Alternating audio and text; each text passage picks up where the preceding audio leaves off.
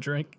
That's fine though. I'm not drinking anyway, so No drink for after the movies. no drink, man. I don't have anything. All I have is water.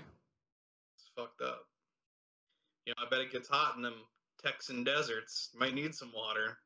As I'm trying to flee a country that's on fire and flee to Mexico, the story that everybody knows oh so well of leaving America to, to find the Mexican dream. which is part of what I. I'm gonna be honest. I like that part of this movie. I think it's Yeah. very funny. It's one of my favorite parts. I was no. like, It's cool as hell. I shouldn't say funny, but it's yeah, it's a great flip on a on a story. Um, so I guess we're rolling, right? Yep. I, I presume. Uh, ladies and gentlemen, welcome to After the Movies, the show that is kind of like at the movies, but uh, not really. After It's- it. It's after it. Yeah, but it's after. Yeah, Mhm. exactly. We see uh, some new movies if we can, and uh, so we were talking about a film that I wanted to see that nobody else, I don't think, in the world wanted to see. I'm sure people wanted to see it. Nobody I know wanted to go see this movie with me. Um, they're objectively probably the dumbest movies that I think are actually quite good, uh, and that is the Forever Purge, the final film supposedly of the Purge franchise. Um, and with d- d- despite not seeing any of them, Jimmy here was kind enough to accompany me to the movie theater Yep. uh, and, and go see it. And um, well, we should talk about what we're drinking or not drinking in your case. Yeah. Uh, I've got this Coca Cola coffee, and you and I were just talking about this. I I initially thought you wouldn't like it, but the more we talked about it, I think you could. I think you could dig it.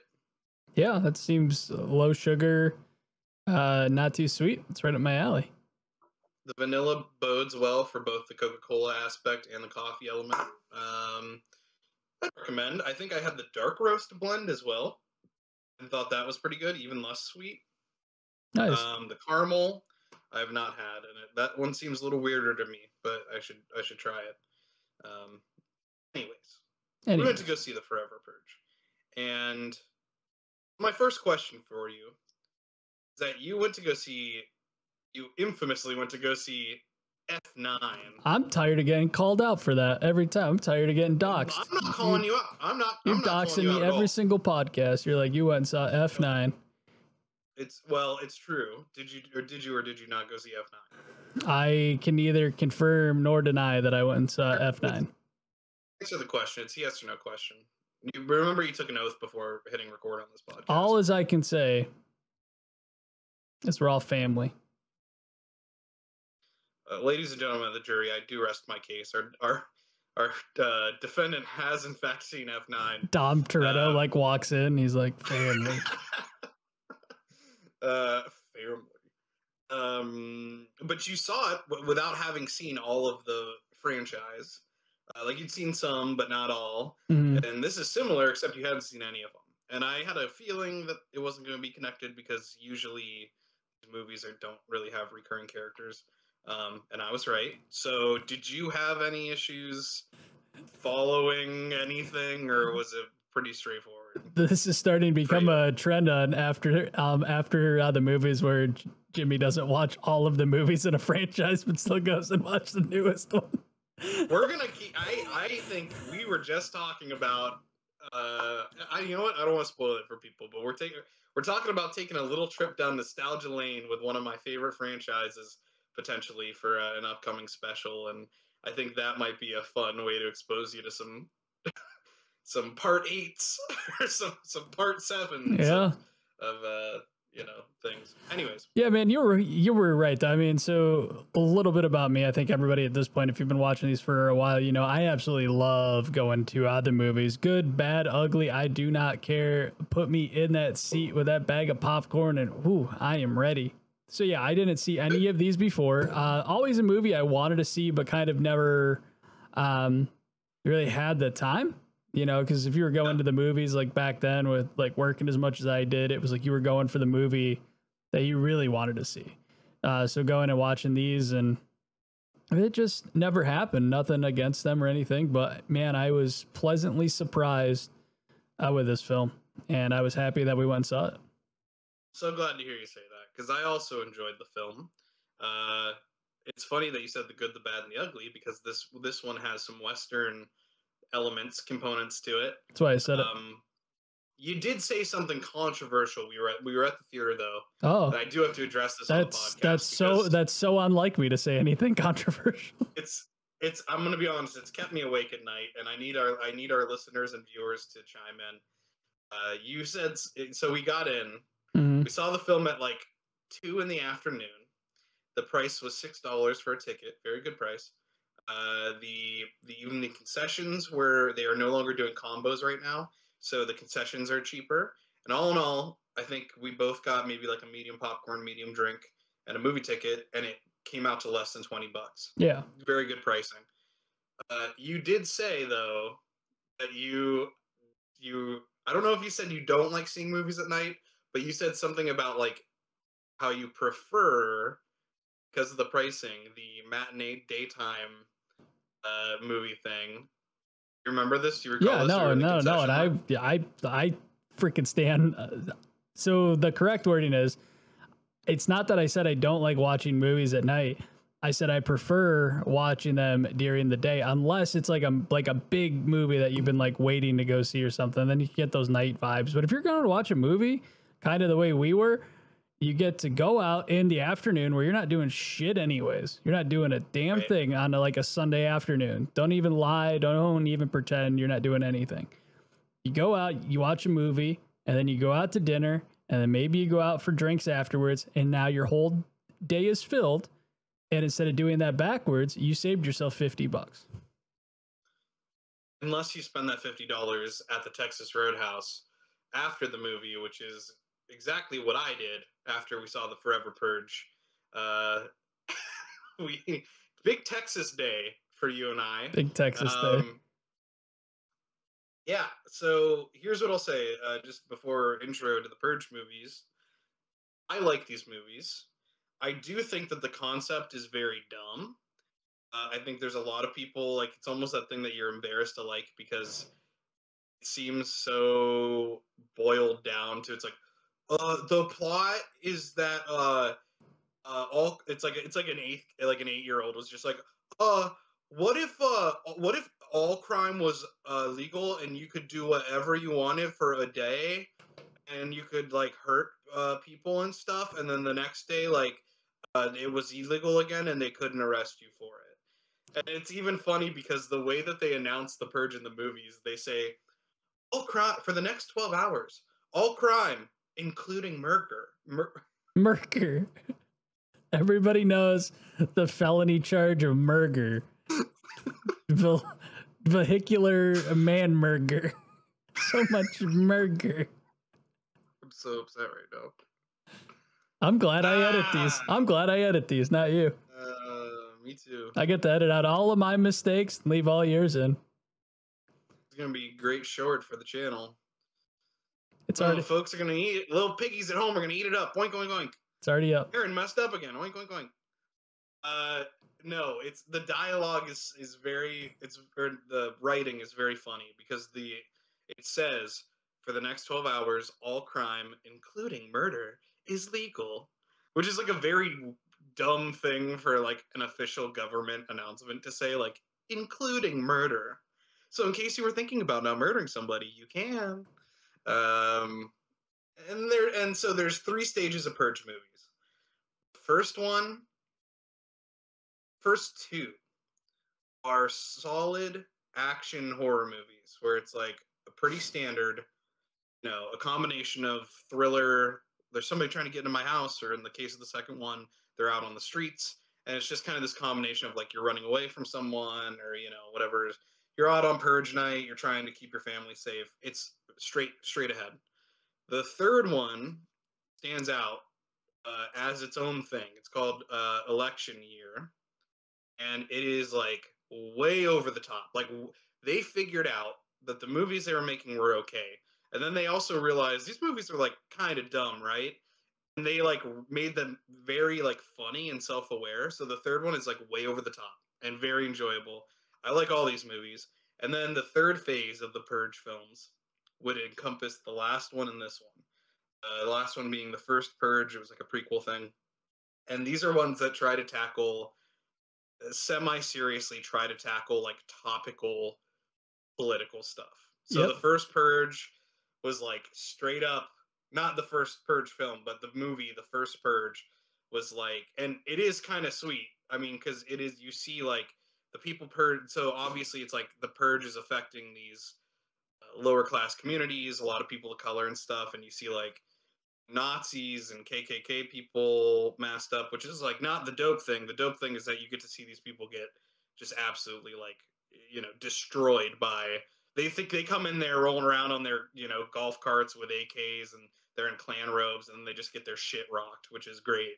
Um, so that that movie's just fun to watch from like a pure like fuck you standpoint. But this one involves uh, it's very funny because there's no way they could have written this in after it happened. Uh, but a, a, mili- a militia group of like insurgents uh, who want to overthrow the government. There's no way this was written before January 6th. Like that had to be part of the story, which is kind of interesting. Uh, but Wait, they essentially wait, are you saying that they put this in here because of what happened on January 6th? no, I'm saying it was written before. Oh, yeah, yeah, happened. yeah. I was like, there's no way. Definitely. Yeah, there's, There's no, no way. way. Oh, okay. and uh, which is which makes it kind of more endearing you know uh they essentially this group refuses to acknowledge the purge uh like and, and being over they refuse they say like this is it this is our chance to essentially this is our opportunity to overthrow everything hmm and our opportunity to once again kind of racially motivated or, or at least uh, ethnically motivated cleanse the texas land of these people. Um, and what i think the movie does well is that you have a white family and you have their mexican uh, employer employees. Hmm and I think any other film, from a just straightforward standpoint, would say this is a dumb movie and you don't need too much going on. So obviously, the white people are the bad people and the Mexican people are the good people, and that's that. Yep. Sign, And, sealed, deliver. We're done. Exactly. No more thought put into it, just very surface level. And I'm not saying this movie's deep, but what I am saying is uh, the characters, the characterizations are certainly deeper than that, and the Mexican folks are the protagonists. But this family gets wrapped into uh, in a in a positive way.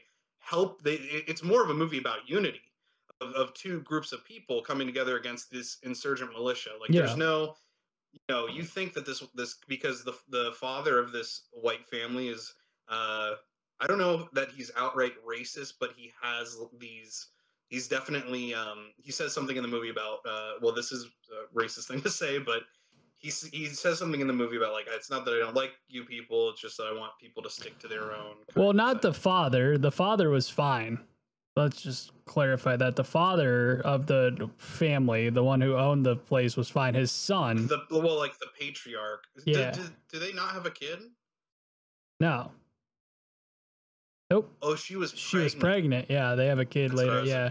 Yeah. So, So yeah. yeah, the patriarch of this family is very understanding Mm-hmm. and kind of has this old school Yeah. uh, take on America, which is America was built on the backs of the working class, and it's a melting pot, and so he's very understanding. The the middle-aged man, the son of this of this man, the kind of the husband, I guess it would be the best way. And here's the thing, folks: we're not going to remember the names of any of the people in these movies because they are not very memorable. Um, but the husband is the one that is just kind of uh, has a dated views on people of, of color or of people from different countries. Yep. Um, and so, but he's it, it- they give it a, a, I think it's earned. I don't think it's this thing where they just give him a redemption story and give him a free pass on like, oh, he used to be a shit person, but he's not anymore. He it's had like, to go through the trials, man, and it was they really yeah, Yeah. They, they put them through the fire together to really you know change his worldview that's um, excellent, and that's proof positive of excellent writing. I mean, to have him go through that, to I mean, they could have easily been like, "Oh, look, he comes in and saves the day," but no, he had to, he had to like run him off his land, and then they got into that semi truck, and then he's helping him. You know, he could have easily said, "Nope, I got, I got my wife. She's like pregnant. You're either with us or not. We're just driving." But no, he helps him try to find his wife and kind of go along and go on on this journey of discovery. So it's pretty cool. Honestly, I think it protects the movie from like political criticism in a way too, because uh, people who bitch are gonna bitch. But the idea that if it was like we said, a straightforward thing where it was like, oh, the Mexicans are just gonna have to kill this white family, there would it would be way more of a thing of conservatives being like, oh, like this Hollywood liberal movie where this white family gets slayed or whatever. When that is in fact not the case, the movie's way more concerned with this idea that is uh, not politically divisive, this idea that shouldn't be politically divisive of unity and people coming together and kind of hope, uh, you know, um, and it, it works for me. Uh, again, this is a movie that is like not super deep, but it No. works for me in several levels. Like the subtext of it works, uh, like the writing, like you said, is I think is good.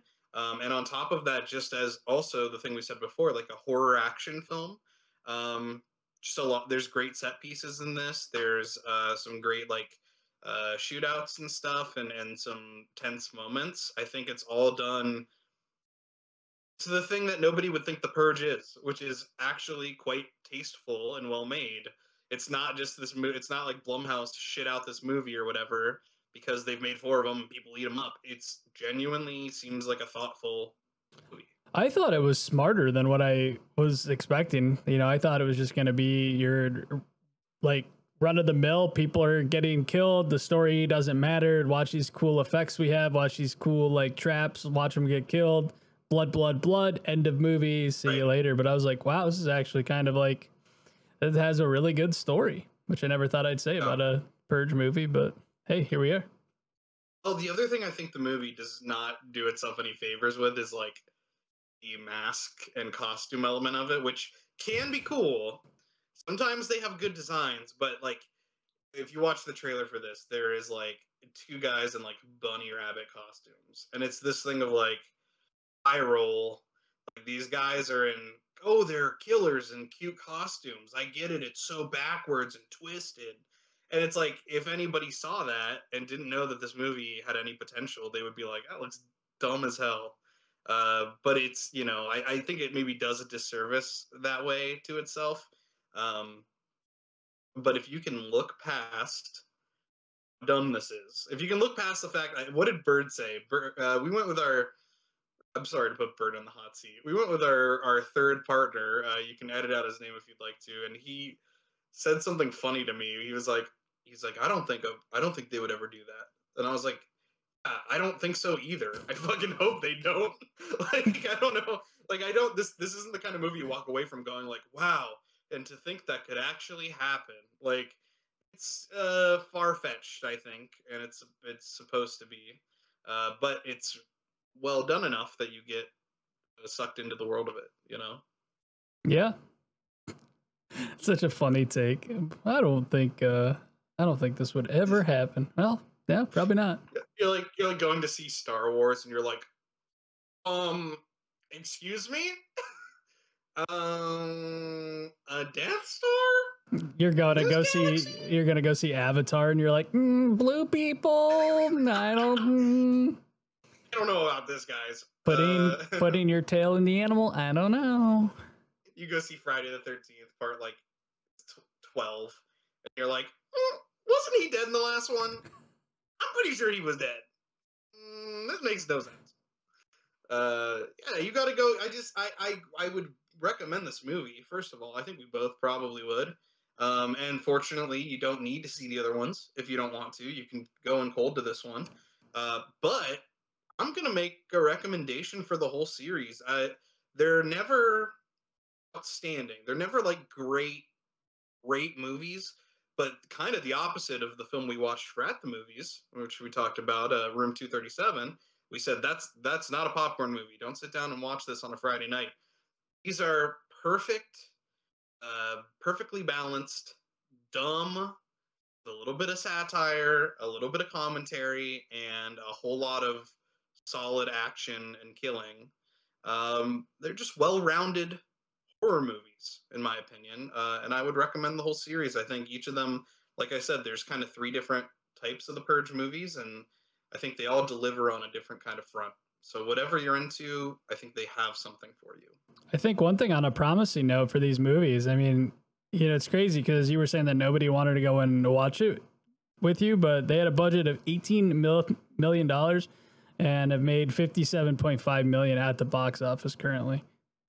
That's great. I, So- they do they do very well. Um, and I did notice, if I'm not mistaken, this was a Platinum Dunes feature, which is Michael Bay's production company Yep. that specifically they specifically do not like low budget quote unquote, but lower than you than than like it's not a blockbuster budget. Yeah, They focus on churning out movies for a reasonable budget uh, that they know they're going to make money back on. yeah, know? yeah. They Um, had Platinum Dunes, Michael Bay, and Brad Fuller's production company. They had Blumhouse, obviously, and uh, then uh, a Perfect World Pictures, which I have not heard about, is uh, it's Chinese entertainment company.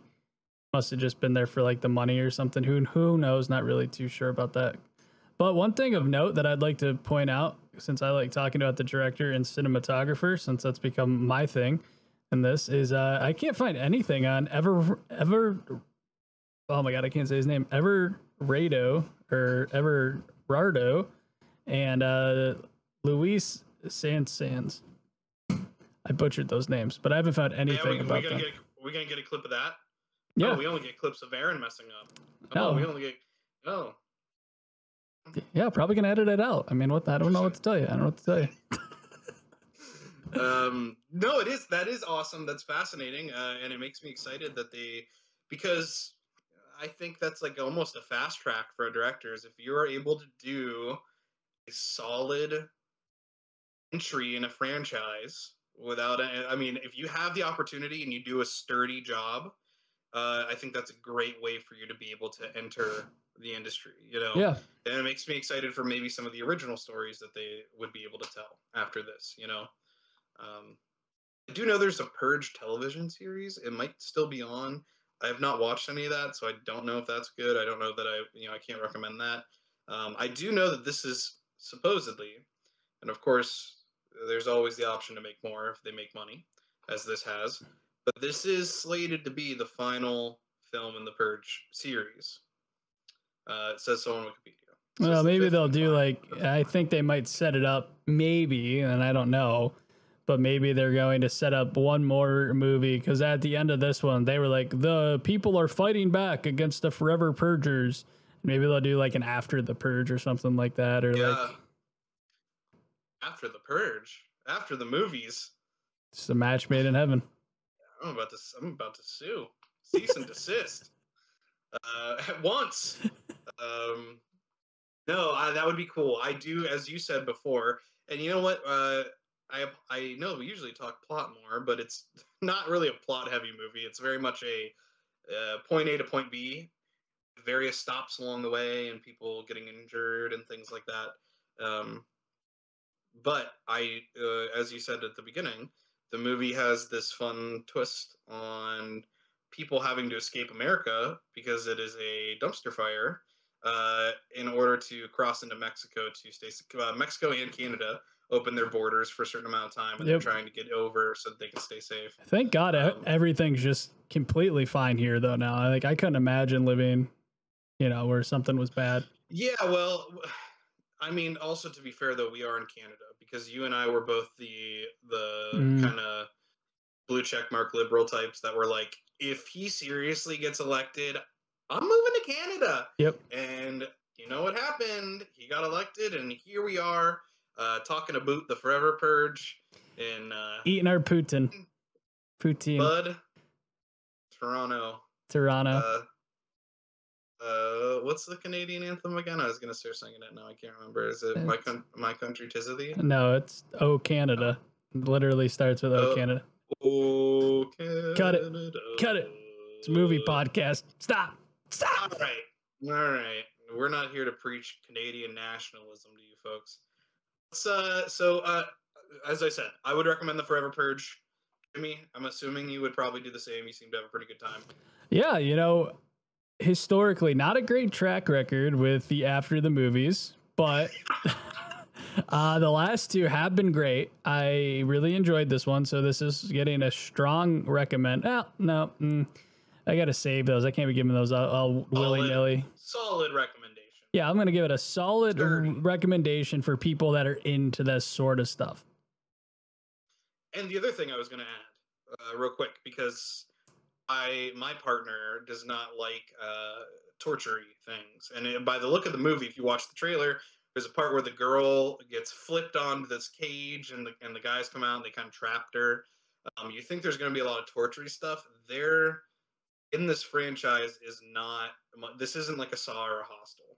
Uh, It's it's a lot more action driven than horror, almost. Like the the horror element is kind of the, the plot itself and then that is a way to fuel the action of people having to survive you know crazy people and get through the city or wherever they're at. Um, so I, I think that this is a movie that people could handle even if they are uh, not huge horror fans. I think it's a little more action adjacent than people would assume Yeah, it's very it's very action heavy and uh, not as horror as I thought it was going to be. I guess is the best way. Like I don't really. I guess I have but a takes different. place during the day Yeah, I have a different that's, that's something i classification. always noticed Yeah, the horror thing really didn't. I don't think it's. I mean, it's. What's the What's the thing? It's like there's like scary, and then there's. There's like horror, terror terror. That's what it is. Yeah. horror and terror yeah Mhm. and this is more this is more the anxiety of someone chasing you than it is Yeah. the horror of oh there's something supernatural in my house it's, it doesn't even feel and because there's so many crazy people it feels less like you know there's a serial killer on the loose or something and more just like i'm in this war torn area of texas and i got to get out of here because people are running around with you know assault rifles just like shooting up you know little mom and pop shops and stuff it's it's a lot more like that it kind of feels almost like a not like an apocalypse movie but like a uh, like a dystopian gotta survive it's a survival Yeah. Mm-hmm. no Hundred percent. uh, so as I as I understand it, uh, oh, so okay, uh, our favorite character, pops there, um, walks into the Lomo Lounge, which we haven't even talked about yet. This is fucked up. We fucked up. Uh, the Lomo Lounge is open, but we're about to close. Uh, a quick turn the light on and off. Um, Pop shows up though. He wants a he wants an old fashioned. He wants to no. He wants wants some rye whiskey, no ice. He wants to talk to us about America and his day, about all this urge nonsense, these Capitol riots. How am I going to turn this man down? That that character was so likable. Uh, he uh, rest in peace to my man. Uh, he should have he should have made it, but they had to they had to let him go. Um, but if he showed up at the Lomo Lounge, I personally think we're keeping we'll keep the bar open for an extra drink for him. Yeah, we definitely will. I I agree. Yeah. We'll sit there and listen. Um, so this is uh, an interesting week. It's it's uh, Jimmy week here Yep. at the podcast at, at Lomo headquarters. We give him one week every fifty years to talk about the movies he wants to talk about. yep. Uh, so next week on At the Movies, we're gonna be watching Manifest Destiny Down, Space Time, a a uh, film from Pittsburgh, which is very exciting, a local local feature. Uh, but as I understand it, we have not talked about this previously, so this is is a surprise to me as much as it is the audience. You have come up with uh, two suggestions or options for next week's episode of After the Movies. I have. Um, do you want to say anything about them first, or you just want to give them out? So uh, when I decided, I was like, I want to pick two movies that you could easily stream on Netflix because everybody has Netflix pretty much, and I wanted somebody to just go, oh, they're watching this one, I'm going to watch it. Or chances are it was trending, and you already watch it. So with that being said, the two Space Jam 2. no, God no. Uh, the two movies that I'm going to leave it up to Aaron to actually pick from these two are one that I think he might have saw. I don't know, but it seems like something he would have saw. But the first one is Gunpowder Milkshake, uh, which is like an action movie, which will seem pretty cool. Uh, it's starring, uh, it's directed by Navot Papushado and starring Karen Gillan, Lena Headey, and Carla Gugino and it looked pretty interesting when I saw the actual um, trailer for it on Netflix. And then the second one is a is an Italian film um, a classic horror story, which is dubbed over in English. Hmm, Jimmy. Did you see both of them? No, but do you really want to give me the choice because you know what I'm gonna pick? Yeah.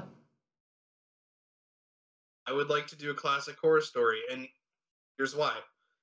And everyone knows that I'm a I'm a horror guy, but we literally we had a family party on Saturday uh, for Jess's grandpa's birthday. He told me to watch this movie. That's cool. He watched it and he was like, he was like, Aaron, did you see that classic horror story movie? And I was like, I saw the trailer. I haven't watched it, and he really liked it. Nice. Uh, and so this, I I feel bad because I do think that Gunpowder Milkshake is, you know, uh, worth something we should maybe cover in the future or worth talking about because I Well, know people well, are excited about well, it. here's the deal. There was a special twist in this. Is the following week we'll be watching Gunpowder Milkshake. Do that. Unless there's sign up for something, both. unless there's something you wanted to watch.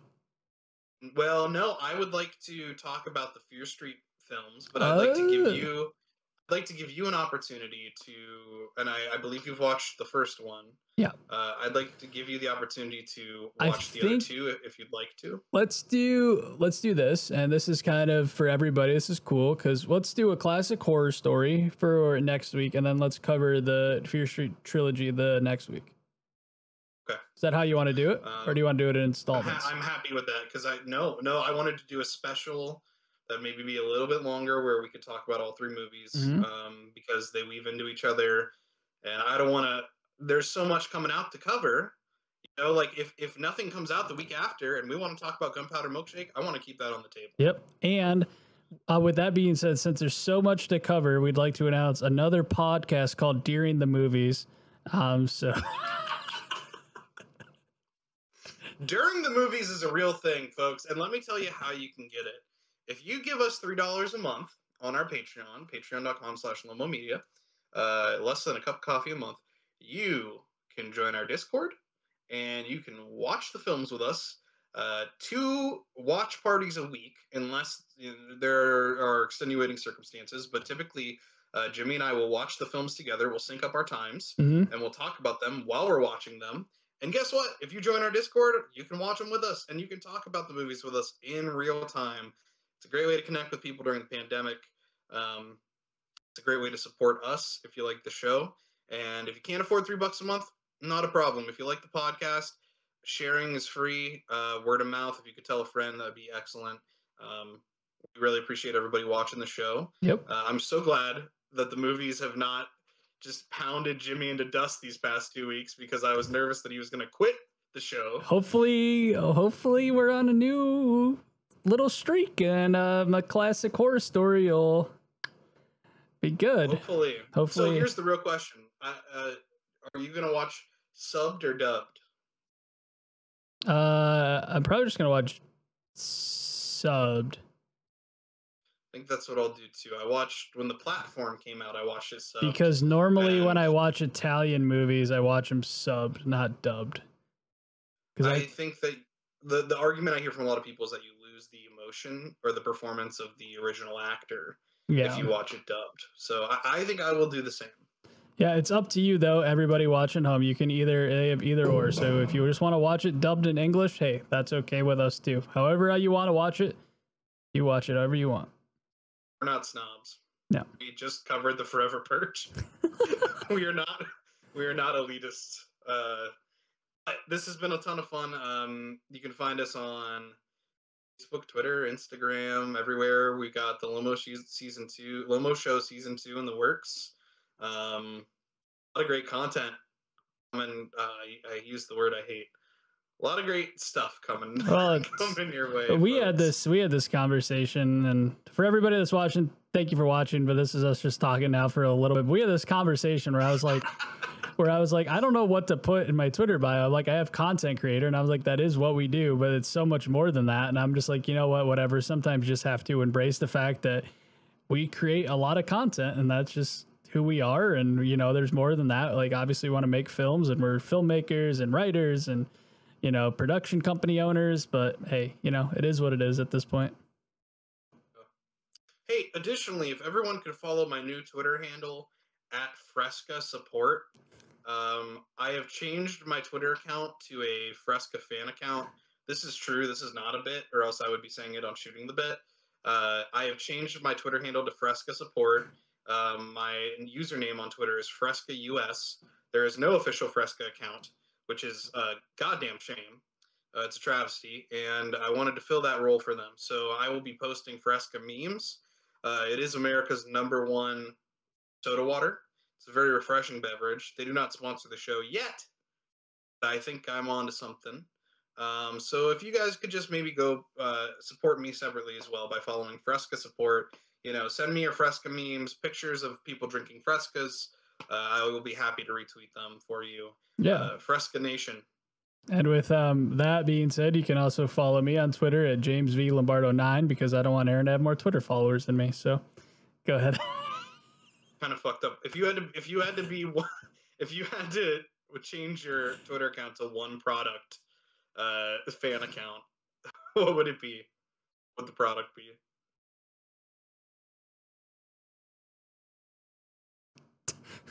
I don't some kind of coffee. That's the only thing I can think of that I do. That's like that every day I have a cup. There's nothing that I. I don't know. I don't know. Probably just coffee. like some kind of some kind of like coffee that has like boner pills crushed up and mixed in with the coffee blend, and then you could just like be. I would probably. I'd probably just yeah. change my name to Max Swells House. yes, I am Mr. House. Oh, are you So looking for Max Swells? With, you're speaking directly with Max uh, Van Swell's house. Van Swells. Uh, this is actually my father's name was Maxwell. Please call me. Uh, call me. Call me. My father's name is Mr. House. We're gonna Please have nothing for shooting the bit. Let's close this damn bar down, baby. Yeah, we yeah we gotta shut the get the hell out, guys. Thank you for watching the show. Now get the hell out, please. Have a good one. Get out of here.